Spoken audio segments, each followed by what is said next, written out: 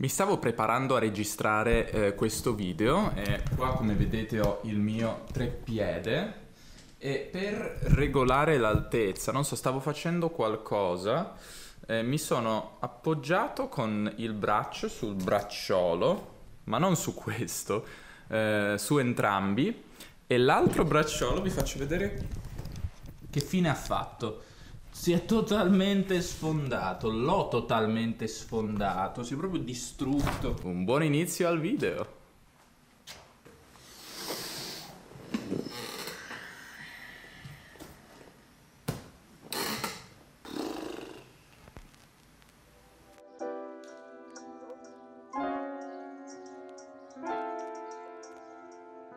Dunque cari ragazzi questo è il Q&A per i 30.000 iscritti, voglio ringraziare tutti voi che vi siete iscritti nel corso degli anni e mi avete lasciato molte molte molte domande, sono circa 50 quindi vedremo se riuscirò a rispondere a tutte e non fare un video troppo lungo.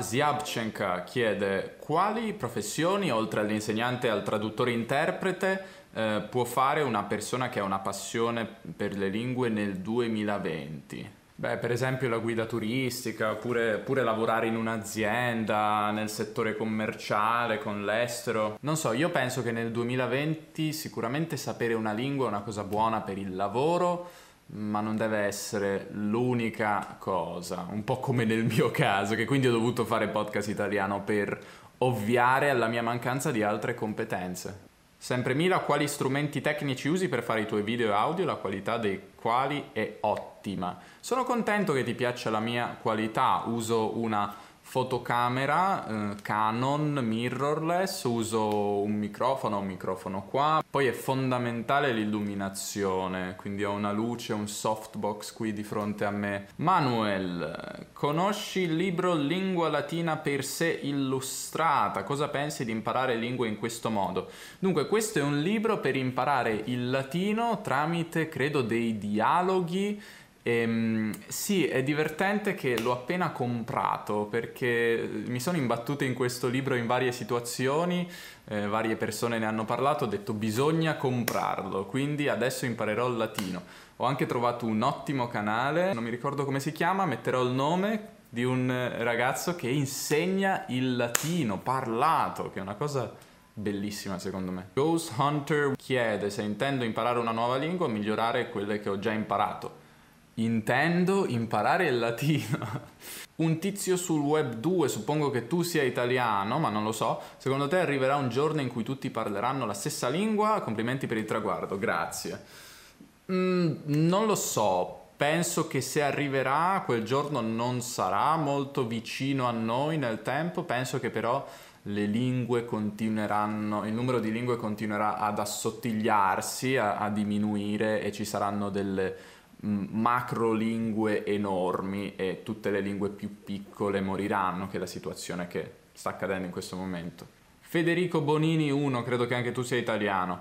Per quanto tempo ancora credi che l'inglese rimarrà la lingua internazionale per eccellenza? Ma io penso che l'inglese non smetterà di essere la lingua internazionale per l'eccellenza. Le altre due super lingue che potrebbero forse ambire al titolo di lingua franca del mondo sarebbero lo spagnolo e il cinese, ma lo spagnolo al momento è parlato in, un, in paesi che non hanno la stessa potenza economica eh, degli Stati Uniti, obiettivamente, e il cinese secondo me è troppo difficile. Ruta, quali sono i tuoi piani futuri per questo canale? Beh, ho tante idee, in primo luogo mi piacerebbe viaggiare di più per l'Italia. Quali sono i tuoi hobby nella vita a parte le lingue? Non ho molti hobby, questo è un problema, consigliatemi hobby, perché io no, non ho hobby, cioè sono una persona noiosa che non ha hobby. Afuro Terumi 1, eh, quale accento italiano ti piace di più? Mi piacciono molto il romanesco e il fiorentino, se devo dirne due.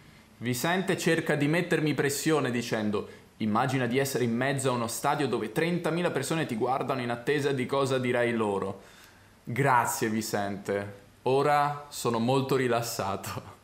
Christopher Boccia 2. Bravo Davide, come hai imparato le abilità di fare video e soprattutto trovare il coraggio di iniziare un progetto indipendente? Non mi è servito molto coraggio, non mi ha mai fatto troppa paura parlare a una fotocamera o registrarmi per un podcast. Diciamo che la cosa buona è che ho iniziato questo progetto quando ero all'università e quindi avevo anche del tempo libero, nel mio caso almeno, e non dovevo pensare a questo come un lavoro. Poi eh, quando ho finito l'università questo progetto è diventato di fatto il mio lavoro e quindi ho potuto continuarlo e dedicarmici a tempo pieno. Francesco Croce mi chiede complimenti per i 30.000, come ti sei avvicinato allo studio della dialettica e dell'addizione? Ma mh, mm, non ho mai studiato l'addizione e nemmeno a dire il vero la dialettica, non so esattamente neanche cosa sia, uh, se, se è qualcosa che si può studiare.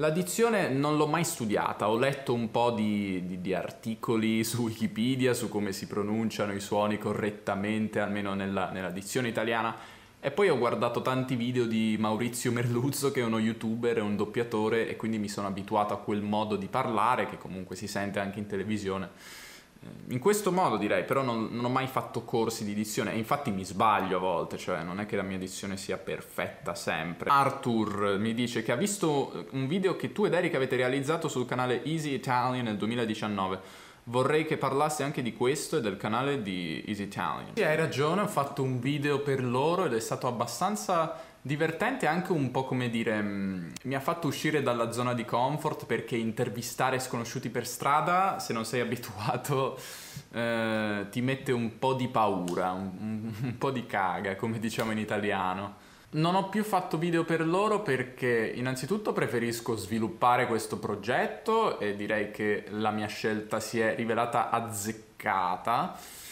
poi perché è un lavoraccio fare i doppi sottotitoli eh, come li fanno loro, è davvero un lavoro molto molto lungo e a fronte di questo lavoro eh, si guadagna molto molto poco, cioè si guadagna quanto guadagna il video su YouTube, che è già di per sé pochissimo, e poi tipo metà di quei guadagni andavano a loro, ai, ai mm, creatori di Easy Languages, quindi mm, no, No, no, non fa per me, sinceramente. Berenice Campos, che tra l'altro è una mia studente, se non avessi raggiunto questo meritato successo, come pensi sarebbe il tuo percorso professionale? Non lo so, probabilmente avrei cercato un lavoro normale, diciamo, in qualche, in qualche azienda. Um, non, non penso che avrei fatto il traduttore, ho studiato per fare il traduttore, ma non penso che avrei intrapreso la carriera da traduttore. Sara 2, ti piacerebbe vivere all'estero insegnando l'italiano? Mi piacerebbe fare qualche esperienza di insegnamento dell'italiano all'estero e se c'è qualche, che ne so, scuola di lingue o scuola normale, università che vuole invitarmi, mi piacerebbe molto partecipare a qualche evento, iniziativa che fate nel vostro paese. Sarebbe una scusa di viaggiare, quindi scrivetemi. Francesco Toninelli 2, cosa ne pensi della neutralizzazione o meno del proprio accento? Pensando al rapporto inglese ad altre lingue, ma anche italiano dialetti, la trovi, la trovi una cosa positiva, negativa o utile? Partiamo dal presupposto che chi discrimina qualche persona apertamente sulla base dell'accento è un idiota, ok? Ritengo però che noi esseri umani siamo molto molto bravi a livello proprio eh, evolutivo eh, a riconoscere i dialetti. Ci sono anche degli studi, cioè i dialetti, gli accenti intendo, ci sono degli studi che dimostrano che, ehm, che in una frazione di secondo eh, noi esseri umani, ma anche gli animali, sono in grado di riconoscere come una persona o un animale parla, o nel caso dell'animale fa suoni. Quindi se si vuole entrare a far parte di un gruppo può essere una buona idea cercare di imitare quell'accento. Io non, non, parlerei di neutralizzare il proprio accento perché è brutto, ma direi è più bello parlare di acquisizione di un altro accento.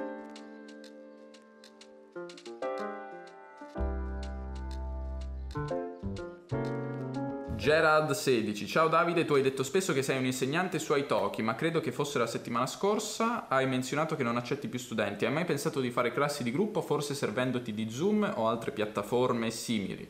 Vorrei veramente fare lezioni con te. Sì, eh, in realtà già qualche mese fa pensavo di fare lezioni di gruppo, eh, club di conversazione, cose di questo tipo Fatemi sapere nei commenti se vi può interessare una cosa del genere. Se tante persone dicono di sì, magari lo organizzerò. Christopher Freeman, la mia domanda è in che lingua pensi? Pensi mai in lingue diverse dall'italiano? Ma io penso che in generale non è che pensiamo sempre verbalmente, no? A volte i pensieri sono immagini, sono, sono cose che non sono parole, non sono verbali, secondo me però a volte lo sono e quando i pensieri sono verbali, diciamo, secondo me sono ovviamente in italiano, a volte anche in inglese. L'inglese ha un ruolo predominante, cioè non predominante ma molto forte nella mia testa. Tracy Peel chiede dei consigli per fare uno scambio linguistico. Tra l'altro ho un'intervista su questo argomento, andatela ad ascoltare. Trova un giorno alla settimana, e questo è vero anche per le lezioni, magari Pensa a ciò di cui vuoi parlare e prova a dirlo a te stesso prima di dirlo all'altra persona o all'insegnante, così sarai già più preparata. Constantin mi scrive che lui studia in Francia con compagni francesi, lui non è francese, lui vorrebbe parlare in francese con i suoi compagni ma spesso gli rispondono in inglese oppure un po' in francese ma poi perdono la pazienza e passano all'inglese. Come ovviare a questa situazione? Secondo me devi insistere, insisti, insisti, insisti, magari di ai tuoi compagni scusate, io voglio imparare il francese. Comunque questo è un problema molto comune, tante persone ce l'hanno con l'italiano ed è per questo che ho questa maglietta. Parlami in italiano, sto facendo pratica. Questa maglietta la trovate sullo store, sul negozio online di podcast italiano.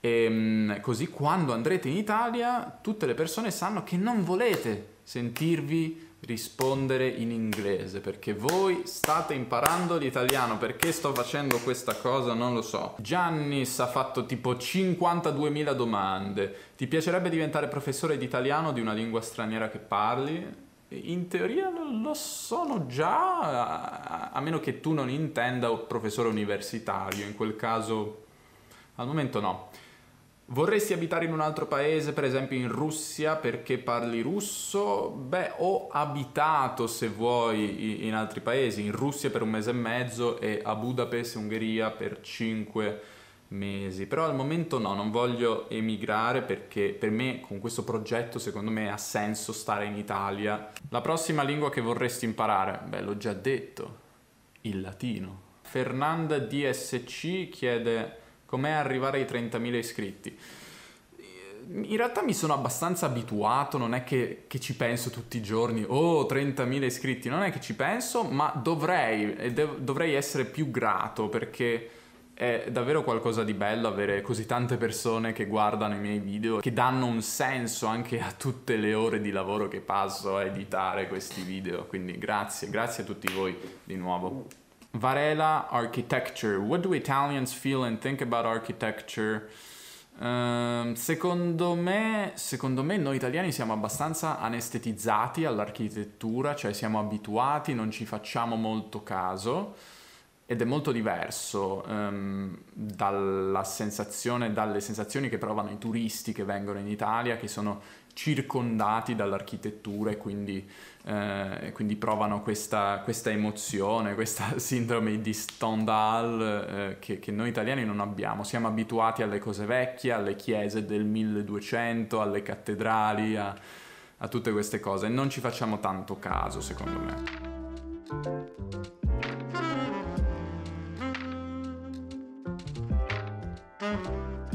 Jason Donnini, momenti preferiti durante la tua vita su YouTube? Mm. In generale sono contento di poter fare questo progetto a tempo pieno insieme alle mie lezioni e di poter guadagnare, poter avere un appartamento pagato con i miei soldi. Per me, per me questo è un sogno, dico la verità, per me è come vivere in un sogno. Quindi Quindi sì, direi, direi questo, però non ho momenti in particolare. Agus Buffa, come cercare contenuti in una lingua che mi piace molto, non su YouTube? Ma ti consiglio di, di fare una ricerca su Google molto semplicemente mm, e spesso trovi dei forum in cui le persone fanno la tua stessa domanda. Per l'italiano in particolare, ma magari anche per le altre lingue, io ti consiglio Reddit, il subreddit Italian Learning, dove ci sono tante persone che chiedono cose come quali libri posso leggere per imparare l'italiano, quali serie tv, quali film. quindi ci sono tante persone che hanno già fatto la tua stessa domanda e vedrai tanti consigli. Zelia Mann, continui a studiare il russo, mi chiede. Eh, nel senso... Non so più molto cosa fare con il russo, ultimamente mi sono un po' stufato di ascoltare podcast in russo tutto il tempo, perché l'ho fatto per tanti anni e mi sono un po' rotto le scatole, quindi non lo sto facendo più tanto. Eh, ogni tanto ascolto qualcosa, ogni tanto guardo qualche video, ogni tanto lo parlo, però non così tanto, per questo il mio russo, soprattutto attivo, sta sta peggiorando a una velocità clamorosa. Thoughts about doing another long one hour video like when you went to Croatia? It's what got me into your channel. Chiede Gero, Geno, suppongo. Uh, non so, quel video, uh, quel video l'hanno guardato interamente molte poche persone. E non so se ha senso fare video così lunghi se le persone non li guardano, no? Cioè, ditemi voi nei commenti se ha senso e se vorreste un altro video tipo film, documentario di un'ora. Fatemi sapere, magari, magari ne farò un altro in futuro. Il mio amico Arziom chiede come diventare una macchina di produzione di contenuti. Per me è molto importante avere una un programma, una struttura, quindi so che ogni settimana voglio fare un video e un episodio del podcast. Poi magari non riesco sempre a fare entrambe le cose, ma ci provo e questo mi spinge a lavorare e so più o meno cosa devo fare ogni giorno. Senza questo tipo di struttura io non riuscirei a far nulla, non riuscirei ad essere costante. Luciana, Luciana, DZ, imparare due lingue diverse aiuta nell'apprendimento o ostacola? Ma può fare entrambe le cose. Se impari due lingue allo stesso tempo, cerca, eh, cerca di fare così. Impara una lingua più difficile e una lingua un po' più facile. Ancora meglio se le due lingue appartengono a famiglie linguistiche diverse, quindi se, se una persona è inglese può imparare il tedesco e che ne so il portoghese per esempio e soprattutto il portoghese magari se già sa lo spagnolo quindi è più facile per lui o per lei hai mai fatto un viaggio da solo di nuovo Giannis CHRS ritorna sì, ho fatto un viaggio in Germania due anni fa, quasi interamente da solo. Avevo fatto anche dei video che però non hanno mai visto la luce del sole, purtroppo. MA, would you say that every language that you speak shapes the way you think in a different way? No, io non penso questo. Ho fatto anche un episodio che tratto da un libro. Questa idea di relativismo linguistico, secondo cui eh, parlare una lingua cambia la nostra visione del mondo, secondo me è abbastanza falsa. Nel senso è chiaro che ci sentiamo in una maniera diversa quando parliamo in un'altra lingua perché è un'altra lingua e noi siamo meno capaci in un'altra lingua ma io non penso che la nostra visione del mondo cambi molto. Magari siamo un po' diversi come personalità, siamo più vivaci in una lingua, siamo più seri in un'altra lingua, ma non è che le mie idee sul mondo, la mia percezione della realtà che mi circonda cambi, no. Però è una cosa figa, una cosa hippie, tipo, uè frate, sai che le lingue cambiano la tua visione del mondo? Bello, bella idea, ma no. Darlene Sebastian 98, che pensi che succederà nel futuro con le persone che imparano le lingue? La tecnologia renderà obsoleto imparare le lingue? Qual è la tua opinione? Questa è una bella domanda, non, non lo so, io ho questa paura, ho, ho, la paura che quello che faccio adesso tra dieci anni sarà obsoleto e inutile, è una paura che ho tutti i giorni, quindi non lo so. Io penso che sicuramente la tecnologia eh, renderà meno importante sapere le lingue straniere, almeno per tutte le persone che non vogliono impararle per ragioni profonde o culturali, ma semplicemente per motivi pragmatici, per andare in un altro paese e parlare con il cameriere, cose di questo tipo. Poi su Patreon, sul mio podcast Italiano Club, e voglio ringraziare tutte le persone che mi sostengono sul podcast Italiano Club, ovvero il sistema di abbonamento con cui eh, questo podcast è in grado di tenersi in vita e di sopravvivere, quindi grazie a tutte queste persone che mi sostengono. Dicevo, su, sul podcast Italiano Club ho ricevuto due domande, una di Ana Cavaliero, Guillen, grazie Ana per sostenermi, eh, che mi chiede se avessi tutti i soldi necessari per farlo, cosa ti piacerebbe di più fare nella, della tua vita? Dove ti piacerebbe vivere? Lavoreresti o studieresti? Bisogna fare qualcosa nella vita, non si può oziare tutto il tempo nella propria vita perché la vita perde di senso, cioè, quindi penso che non starei tutto il tempo su una spiaggia perché mi annoierei, la mia vita perderebbe di senso. Comunque ti dico, in realtà mi piace quello che faccio adesso, ecco, non lo so se avessi tutti i soldi necessari, se continuerei a farlo. Magari, magari sì, perché alla fine mi piace. E Hagei Shur, sempre del club, chiede cosa pensi del tema privacy su internet e più generalmente della vita privata in quest'era del coronavirus con la sorveglianza al servizio della salute, salute pubblica.